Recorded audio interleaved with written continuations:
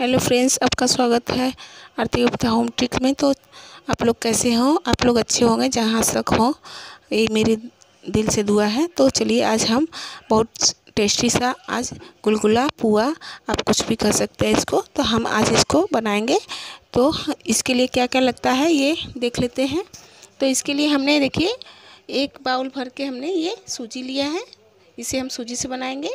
और ये half cup हमने चीनी लिया है। आप टेस्ट के अकॉर्डिंग ले सकते हैं, जितना मीठा कम खाते हैं बेसी आप।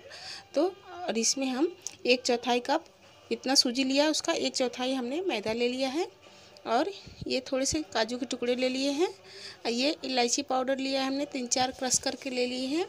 और ये नारियल थोड़ा सा ग्रेट करके ले लिया। आप चाहे तो इसके बिना भी बना सकते हैं, और चाहे तो इसको डाल के भी नारियल और काजू को बना सकते हैं। तो इससे बहुत अच्छा टेस्टी आता है। टेस्ट। तो चलिए बनाते हैं। तो इसको सूजी को एक बाउल में हम डाल लेते हैं।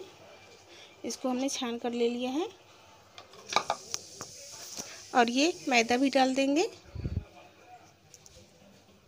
और ये चीनी भी डाल देंगे। और ये इलायची पाउडर भी डाल देंगे। काजू के टुकड़े जो लिए थे वो भी डाल देंगे। और ये ग्रेटेड नारियल ये भी डाल देंगे। तो इसे हम मिक्स कर लिए हैं। अब इसमें हम थोड़ा थोड़ा पानी ऐड करके इसका अच्छा सा घोल बनाएँगे।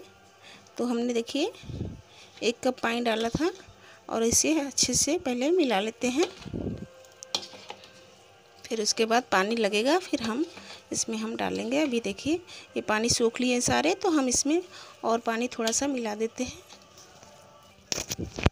तो ये देखिए, हमने एक कप डाला था और एक कप ले लिया है। इसमें हम थोड़ा थोड़ा करके पानी डाल देते हैं, फिर उसके बाद हम मिला लेते हैं। आप पानी अपने हिसाब से मिलाइएगा कंसिस्टेंसी हम आपको दिखा देते हैं, बस वैसे ही रहनी चाहिए कंसिस्टेंसी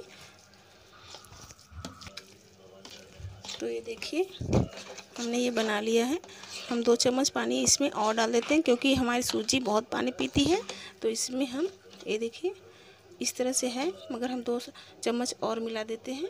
ये देखिए, और मिला के इसको हम 20 मिनट के लिए रेस्ट के लिए 20-25 मिनट के लिए रेस्ट के लिए, आप चाहे तो आधा घंटा भी रख सकते हैं।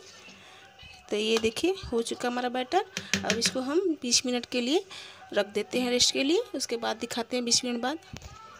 तो देखिए फ्रेंड्स, ये हमारा बैटर एकदम ठीक हो चुका है। हमने आधा घंटा के लिए इसको रख दिया था। ये देखिए, हमारा बैटर बहुत ठीक हो चुका है। तो इसमें हम दो टेबल स्पून इसमें थोड़ा सा पानी डालेंगे।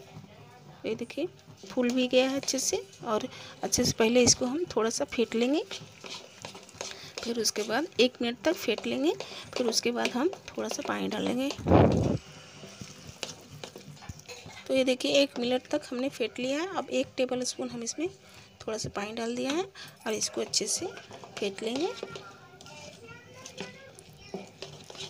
ये देखिए, इस तरह से हम फेंट लेंगे और ये हमारी कंसिस्टेंसी ठीक है, ऐसी होनी चाहिए। तो हम, अब इसको हम बनाएँगे।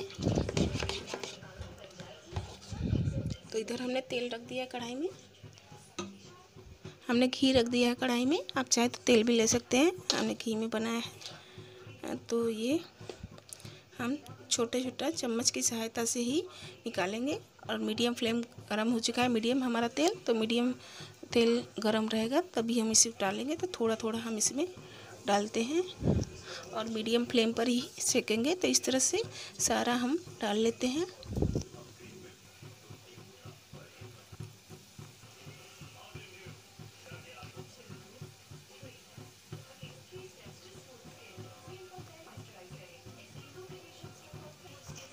तो देखिए, सारे हमने डाल लिए हैं।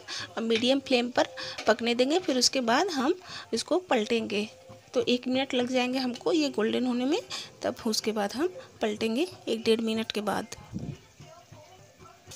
तो ये देखिए फ्रेंड्स, ये हमने एक मिनट तक पकते हो गए हैं। तो हम इसको, ये देखिए, अब ये अच्छे से, ये गोल्डन नहीं हुए हैं। तो हम एक डेढ़ मिनट तक, एक मिनट तक और पकाएँगे, जब तक कि ये गोल्डन ना हो जाए। तो ये देखिए हम इसको एक मिनट तक और पका लेते हैं। तो देखिए फ्रेंड्स, ये डेढ़ मिनट तक हम इसको अच्छे से पका लिए थे। डेढ़ मिनट लग गया एक तरफ़ सीखने में। तो इसको हम एक तरफ़ से अब पलट लेते हैं। ये देखिए कितना अच्छा सा कलर आया है। तो इसी तरह से सारे हम पलट लेंगे। हुआ। तो देखिए फ्रेंड्स, हमने सारे पलट लिए हैं। ये देखिए अच्छा से गोल्डन आ गया है। अब इस तरह से भी हम एक मिनट तक, जब तक कि ये गोल्डन ना हो जाए, हम सेकेंगे। तो सेकने देते हैं, फिर उसके बाद आपको दिखाते हैं। तो ये देखिए फ्रेंड्स, एक तरफ़ से ये पक गए हैं तो थोड़ा सा हम इसको और इधर से एक तरफ़ और पलट के सेक लेंगे। तो इधर से ये बस आधा मिनट में ये हो जाएगा।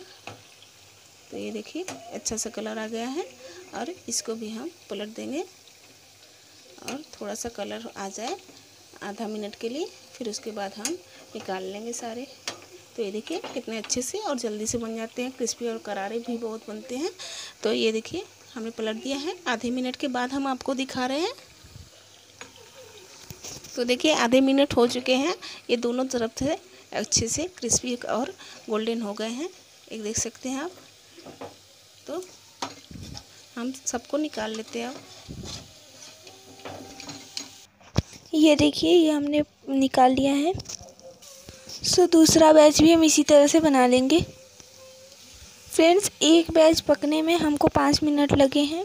सो इसी तरह से हम दूसरा बैच भी बना लेते हैं। तो आ, हम आपको अब दूसरा बैच बना के प्लेटिंग करके भी दिखाते हैं आपको। तो देखिए फ्रेंड्स, हमने ये बना लिया है और प्लेटिंग भी कर दी है। कितने अच्छे लग रहे हैं। तो ये देखिए, बहुत क्रिस्पी और करारे बने हैं। ये बहुत गर्म है अभी।